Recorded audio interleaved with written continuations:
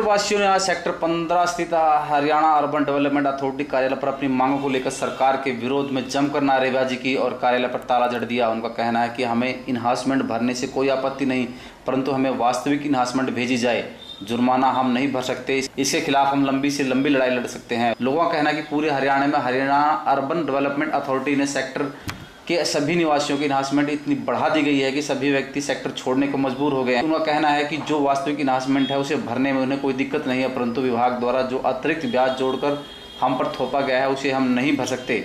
इसके लिए हम किसी भी तरह की लंबी लड़ाई लड़ने के लिए तैयार हैं। सरकार के घोषणा पत्र में था कि गरीबों को मकान दिया जाए, परंतु अब सरकार बनाने की बजाय लोगों से मकान छीनने पर लगी हुई है।